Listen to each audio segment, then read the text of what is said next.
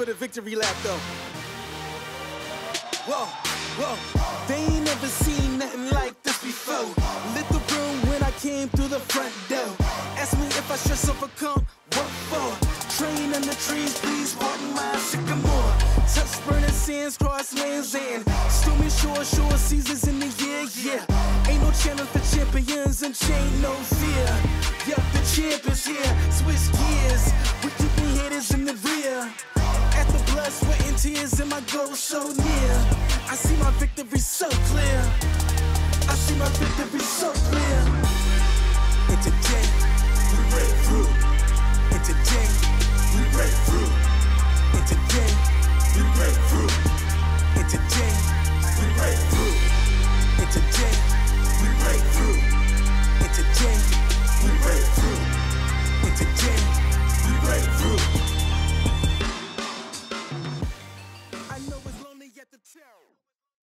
Hey, what's up guys? Welcome back to the channel. We are at Turlock Poker Room in Turlock, California. So today, we're gonna jump into the no limit game. I think it's 2-2. I think it's 2 to 300. Um, could be match to stack, we're gonna find out. So let's see what happens. Hopefully we run good, rebound from the last session and get back into the black. So, all right guys, thanks so much for stopping by. I'll see you guys in there. So we're gonna jump right into the action here. In this one, this is my very first hand of the session, and I put on the $4 straddle. We're gonna have a open to $10, and the actions are gonna get folded over to me after we see a couple calls, and I'm gonna look down at six, eight of clubs. So obviously I'm never folding here for six more dollars. I'm gonna defend my straddle, and we're gonna see if we can hit this flop hard as it's going multi-way. So we're gonna see this flop four ways, and the flop comes amazing for us as it comes King 8-6 Rainbow.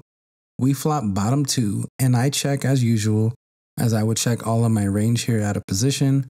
And the action is gonna fold over to me, and I think there is merit just for calling, but obviously in this spot, I don't really want to overcomplicate it. Um, there's also a lot of bad turn cards for me that can kill my hand or kill the action, and my hand is vulnerable. So I go ahead and put in the raise here to try to commit the stacks on almost any turn and river. So I go ahead and make it 70 here. And this player is going to quickly make the call. So this pot has ballooned quite quickly here to about 180 in. And I have about 120 left. So the SPR is nice for a turn jam. And this player is actually going to act out a turn and he verbally jams and I just call. And we're going to see a river, which is the queen of diamonds. And this player turns over aces, and we turn over our 6 8 for two pair, which is going to hold. So it's always nice getting the first double up and getting our stacks moving in the right direction early on in the session. So in this next hand, we are in middle position. We're going to see an open limp, and I look down at red aces. Now, over one limp, I'm just going to ignore it pretty much and open my standard size and range. So I make it 10 here, and we're going to see this pop multi-way. We're going to go four ways to a flop. So with $40 in the middle, we're going to see a decent flop for our hand, which is going to come ace 10 5, all black. So we are running extremely hot right now. I flop top set, and first to act is just going to jam here for around 50 ish more. And I am just going to quickly call. Looking back at it, I wish I would have just took a few moments just to give the illusion that I had something to think about because I totally forgot about the person behind me. So he obviously knows that I have a monster, so he mucks. Now we're just going to go to the run out here and we are going to hold. So top set will be good and our villain shows king 5. So she rivered two pairs, so she just jammed on the 5, so wasn't sure if it was just a semi bluff. Maybe she didn't think I was that strong. Maybe she even thought I was getting out of line. Whatever the case may be, we're just happy that the dealer is sending another pot in our direction. In this next one, we're going to look down at pocket nines under the gun, and we are going to be opening the action here to $10. The action is going to fold around part of the table, but I am going to pick up three customers here as we're going to go four ways to the flop again. So a lot of multi-way pots today. So with about 40 in, we're going to see if we can flop something good. And to your surprise, I am going to flop another set. So we're obviously running super hot today. And we are just going to look to continuation bet just to build a pot. There is a lot of draws available, flush draws, straight draws. So let's not overcomplicate it. So I'm going to go ahead and bet 30 here. So one player is going to continue here, who's going to make the call for 30. So with 100 in, we're going to see a turn, which is great for us, which is the three of spades. So the action is going to check to me again. And now I'm just thinking, what's the best way to play this to get max value? But with this player, he's shown that he's going to call any bet pretty much that's decent with a flush draw, straight draw, or even a single pair hand that also has a draw. So I decided to go two thirds pot. So I just make it 80 here just to try to commit stacks on the river. And if he decides to go with it now, well, then obviously I'm just happy to get it in. But he calls once again. So now we're heading to the river with 260 in. And this player only has about 150 left in his stack. So I'm pretty much going to jam any river here. So we see the river, which is the ace of spades.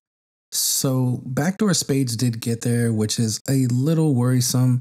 And if he happened to have a hand like 2 5 of hearts, he got there as well. But it's hard to play poker with monsters under your bed.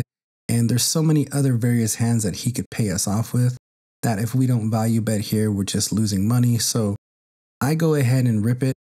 And he thinks for not too long before he eventually finds the fold. And he would later say that he had a busted flush draw. So it's always nice that the heart didn't hit and we're taking down another one. Now, this next hand is a hand that I was not involved in, but it is literally one of the crazier hands that I've seen at a poker table recently. It involves four players, ultimately a four way all in, massive cooler. I wanted you guys to check it out. I captured it on video for you.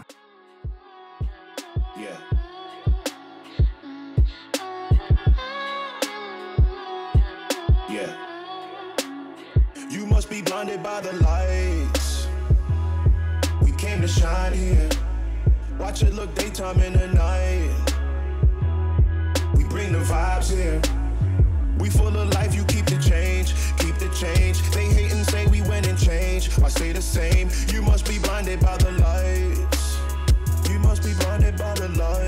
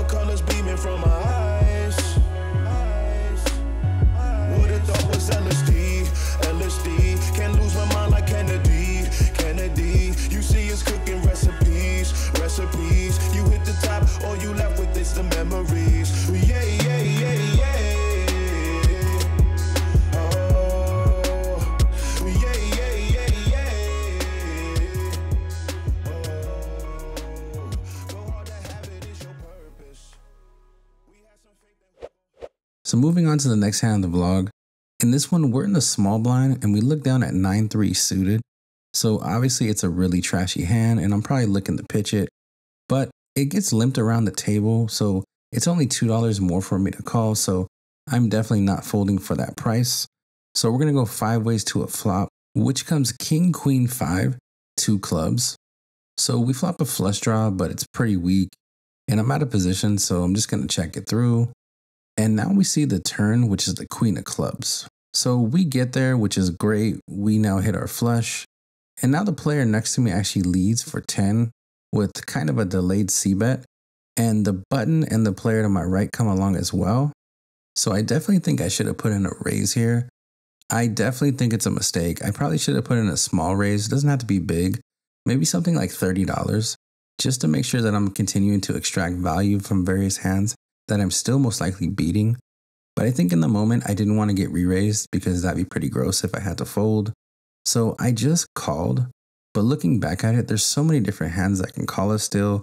Maybe a weak king, a five. If somebody was unlucky enough to have a weak queen, they now got there with trips. Or if somebody has the ace of clubs.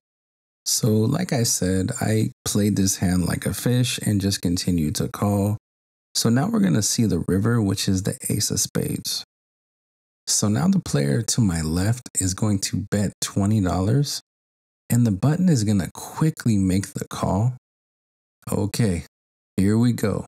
Now it's the time to check raise. Put in the check raise. Now is the time to put in the check raise. Now is the perfect time to put in the mother. So I just continued to butcher this hand literally throughout all of it. It seemed to get worse and worse now that I even look back at it, which I don't remember seeing that in real time, but it's funny how that happens. And our opponents roll over a king, and the button rolls over the six deuce of clubs. Wow. So we definitely missed some value there. He definitely would have paid us off on a pretty decent sized bet. So that one is definitely not a shining achievement, but we're going to keep it moving and at least we're dragging the pot. But man, that one definitely hurt the hourly rate. In this next one, we're on the button here as we look down at Queen 10 of diamonds. So we're going to have a open here from the cutoff to $6. It's a pretty small sizing, doesn't really scream strength. So I'm going to go ahead and attack that here. And I'm going to make it 26 to go on the button. Now the action is going to pretty quickly fold around the table here till it gets back to the cutoff. Who's not going to think too long, as you can see. He's going to quickly make the call here. So he doesn't believe us. So we're going to go heads up to a flop here with about 50 in and the flop comes King 7 4 Rainbow. The action is going to quickly check check, and now we're going to see the turn, which is the 8 of clubs. This opponent again checks, so he's pretty much waving the white flag. So I go ahead and decide to bet 26 here, just hoping to take it down, maybe get him off some smaller pairs, maybe some ace highs. So this opponent pretty quickly folds, and we're going to take this one down. So it's nice to get this one with not too much resistance. Moving into the last hand of the vlog, in this one, I'm going to look down at red ace king. We're going to have a min open followed by a call. So I am definitely going to be putting in the squeeze here as I would do this with pretty much any hand I'm going to play just to isolate. So I make it $34 here with Big Slick. And the action is going to fold over to the original raiser, who's going to take some time, a lot of time actually, and he eventually is going to make the call. So now the stack sizes are going to get a little bit weird here. This player is only going to have about $90 left, and we're already going to have about 70 in the middle as we go to this flop. And I noticed this player kind of thought about maybe jamming here, but looked at his hand, kind of seemed like he liked it, but he wasn't in love with it. Maybe he had like a big little card, something suited. And we see a flop which is 10 4 3, all clubs. So now this player is going to instantly jam here. And we look back at our hand and we're obviously not in love with the situation. Yeah, I do have two overs. We do have some backdoors to the wheel and to a straight. But I've seen this player actually do this a few times throughout the session, but unfortunately, I never got to see the showdown. So I don't know what kind of hands he's doing this with.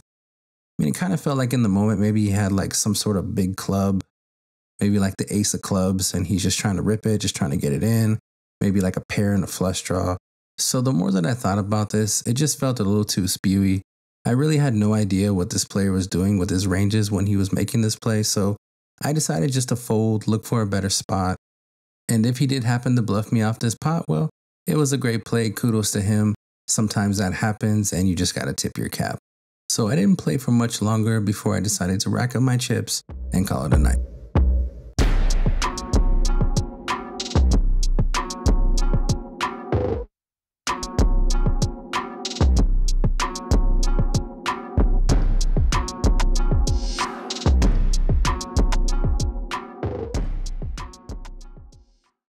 Welcome back, everyone. So to recap the session in Turlock, it was a good session. I was in for 200, out for about $715, give or take a little, about 700 after I gave some love to the dealers. So really good session. I feel like I played good. I ran pretty well and got some thin value in spots that I was really excited about. So we'll take it. It's a nice bounce back from the last session where they got me a little bit. So thank you guys so much for stopping by. Thank you for checking out the channel. Please like and subscribe to vlog and I'll catch you guys on the next one. Thank you. Take care. Bye guys.